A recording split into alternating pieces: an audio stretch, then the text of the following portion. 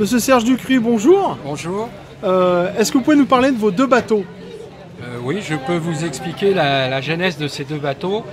Euh, le premier, le plus petit, qui s'appelle Estelle, je l'ai fait parce que je faisais depuis très longtemps de la compétition en 1 mètre, c'est-à-dire en 1 mètre, en classe 10. Et j'en avais un peu fait le tour et j'avais envie de, de voir, de respirer un autre air. Donc j'ai dit un copain que j'aimerais faire un, voilier classique et il m'a dit bah, écoute, le mieux c'est que tu t'inspires des voiliers de, du la fin du 19e siècle qui sont des côtres comme euh, ces deux-là, c'est-à-dire Estelle 1 qui a donné euh, euh, la genèse après qui a donné naissance en Es- Estelle 2, c'est-à-dire ce sont des côtres. Alors les côtres, ce, ce sont des bateaux qui ont, qui ont été moralisés par les gardes-côtes, c'est-à-dire que au départ ces bateaux étaient des bateaux de contrebande et les gabelots en étaient restés encore au, au phare carré. Et euh, les phares carrés, euh, ça ne marche que vent arrière et pas au près. Donc les gabelots avaient de, grandes chances d'être euh, largués, comme on dit, en marine par les trafiquants. Donc les trafiquants, euh, voyant que les, les gabelots, enfin c'est plutôt les gabelots, voyant que les trafiquants avaient toujours le dessus, se sont dit, bah, nous, il nous faut le même type de gréement. Ils se sont mis à faire des gréements comme ça. Et à ce moment-là, euh, ils ont rattrapé les, trafiquants. Et à ce moment-là aussi, euh, simultanément, les bourgeois se sont dit ah bah oui, ce bateau-là, ces bateaux-là marchent très bien. Pourquoi ne pas nous en faire pour occuper nos loisirs? C'est-à-dire que les grands bourgeois et les nobles ont commencé euh, à faire ce type de bateau quand ils ont vu que les gabelots avaient moralisé ce type de bateau. Et ça a donné naissance à, toute une série de bateaux qui ont couru aussi la course de l'América. Donc là, vous avez deux, euh, qui, peuvent être datés du fin 19e siècle. Le premier, c'est un bateau qui est d'une conception tout à fait personnelle, étant donné que j'avais pas à l'époque, j'avais pas la, fibre historique. Donc je me suis fait un plan et j'ai euh, fait ce bateau qui s'est avéré être assez euh, performant, euh, à tel point que plusieurs personnes m'ont dit pourquoi ne pas le faire plus grand pour pouvoir avoir une meilleure tenue à, à la gîte, c'est-à-dire être plus raide à la toile. Donc à partir de là, avec mon ami Jean-Pierre, on a étudié une deuxième version, une, fois et demie plus grande, qui est Estelle 2, qui est cette version aussi, qui euh, n'est pas tout à fait identique, étant donné qu'à l'époque, si les carènes étaient identiques comme euh, les jauges, euh, les, ponts étaient souvent faits en fonction de la demande des, propriétaires. Donc c'est pour ça qu'il y a une différence notoire entre le pont d'Estelle 2 et le pont de- d'Estelle 1, si on peut appeler ça Estelle 1. Et euh, donc ce, bateau est euh, le résultat de l'aménagement et les améliorations de Estelle 1.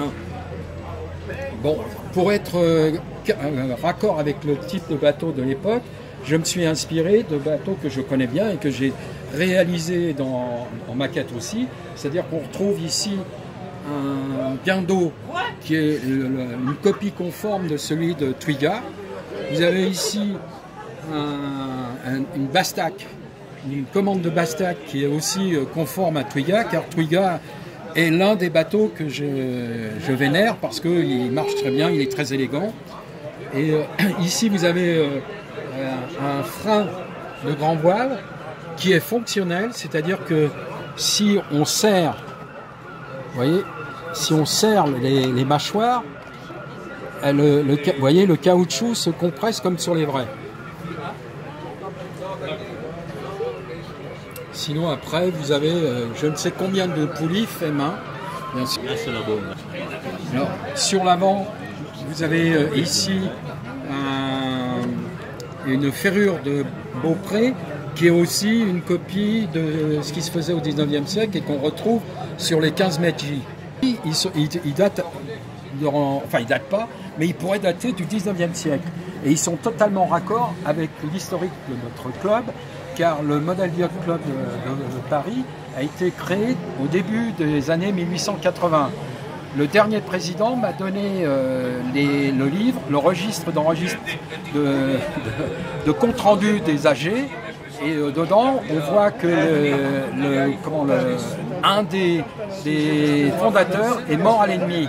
Et ce, et ce texte date de 1912. Donc, avant 1912, le seul conflit auquel la France a participé, si on peut dire, est la guerre de 70. Donc ça veut dire qu'un des fondateurs euh, est mort pendant la guerre de 70, donc le club était déjà créé. En plus, s'il y avait des, détracteurs, on a retrouvé dans la revue YAC un reportage du 29 mai 1896 euh, une régate organisée par le, le Model Yacht Club de Paris. Il faut aussi savoir que ce club a compté parmi ses membres deux architectes de renommée internationale, Brix, qui a eu une vie assez mouvementée, et euh, je crois.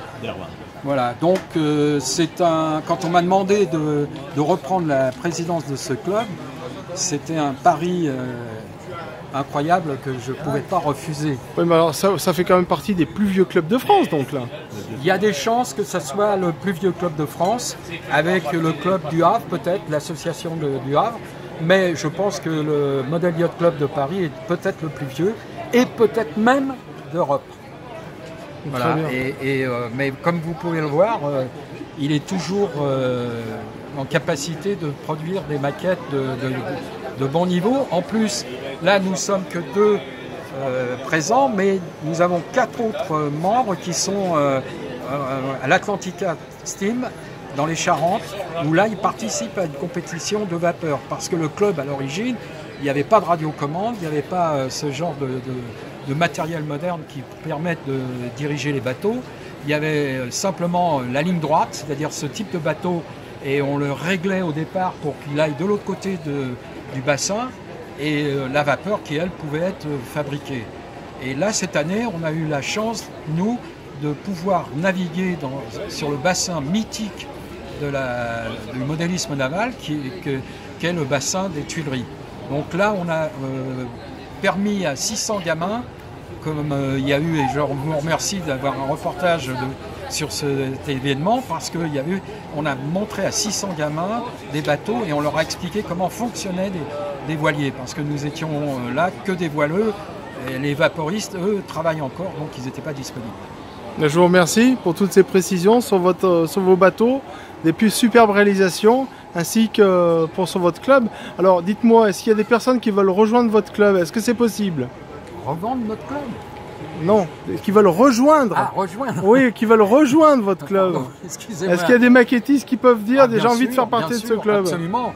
Euh, nous acceptons tous les types de modélisme, excepté le thermique, car les bassins sur lesquels nous évoluons sont interdits aux thermiques. Alors que ce soit des, non-initiés, ou des débutants, ou comme des confirmés Actuellement, j'ai la chance de, compter parmi mes membres que des confirmés et de euh, très haut niveau, puisque j'ai parmi, euh, enfin nous avons parmi nos membres, euh, comment Monsieur Chazarin, qui est le, le pape des vieux gréments, et nous avons aussi Adrien Sens qui a créé des moteurs à vapeur, qui est aussi maintenant, bah, il fait partie des quatre qui sont euh, à Atlantica Steam. Donc euh, actuellement, c'est vrai que c'est plutôt un club de confirmés, mais on est tout à fait ouvert aux débutants. Et je pense que c'est aussi notre rôle, de, avec les connaissances que nous avons, d'initier les débutants. Écoutez, Monsieur Ducry, je vous remercie et euh, je vous souhaite donc un bon vent euh, pour votre club. Merci beaucoup, à très bientôt. et surtout un bon vent au modélisme. Merci, exactement, c'est vrai. Merci, Monsieur Dupri.